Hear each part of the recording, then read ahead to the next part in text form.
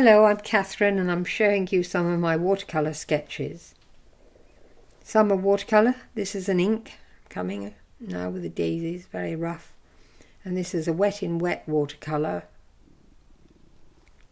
And this is a drawing. Another watercolour on a rough surface and a more rough surface with hellebores. And this is a smooth surface. So this shows you the different effects you can get with smooth surface. And this is the last one. And I've just put this oil painting in for you to see. Please like and share. And thank you for watching.